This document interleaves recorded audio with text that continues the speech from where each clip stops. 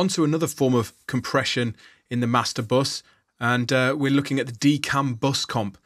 It's a single or full band or full range compressor as opposed to the multi band compression and limiting we just looked at.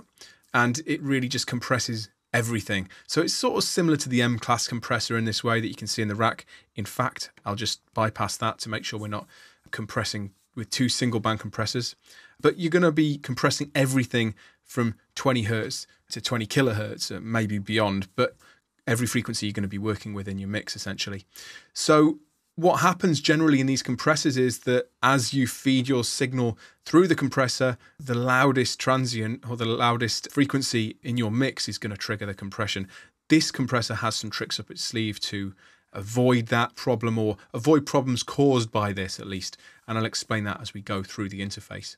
So let's take a look. We've already looked at a DCAM compressor, but this one is totally geared towards bus compression. So maybe not necessarily just mastering, but maybe uh, drum bus compression as well as mastering.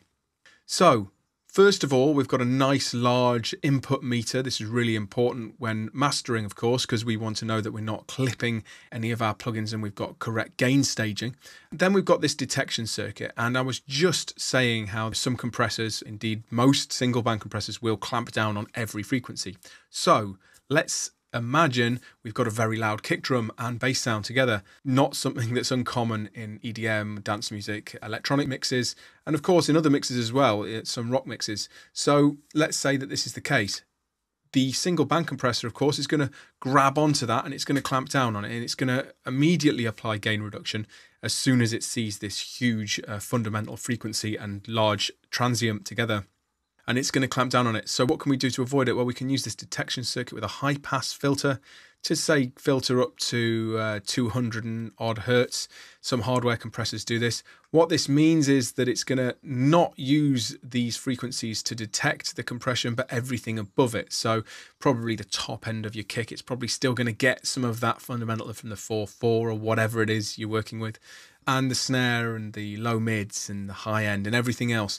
So all of these transients are going to be the ones that trigger the compression. This doesn't mean it won't compress the low end. It just means that these won't be triggering the compression. So you're not going to get these really heavy pumping artifacts. Then you've got attack and release, and these are actually stepped. And this is the sort of thing you see in mastering processes because it's very repeatable. You see, ultimately, if you've got a continuously moving fader, it's hard to repeat the settings but if you're experimenting and you're thinking, oh, which what setting is right? No, that one was better. It's easy to move back between them and combinations of them as well. The threshold moves continuously, as does the makeup gain, but the ratio, as you can see, is basically low, mid, and high 2, 4, and 10 to 1. 10 being closer to limiting. I tend to use very low ratios in mastering. On a drum bus, you probably go a little higher. Of course, you can use this with very extreme compression and high compression settings. The reason being is taking us over to the master section nicely, we've got a mix control. So we can create parallel compression here very easily with our mix control. In this section as well, we've got an in gain and an out gain, some nice gain reduction metering, and a saturation button for some quick dirty saturation. Nothing variable there, but just a quick saturation circuit. Again, a nice large output meter, again to see our gain staging is correct after this has all been created. If we're getting clipping here, we can just bring down the makeup gain quite easily and fine tune that. So really, really simple, good stuff, bus compression, single band, and a couple of tricks to make sure that it's perfect for your master. Let's see how well it works. We're going to throw our master through it, and I'm going to show you this detection circuit in action, missing that low end as a trigger.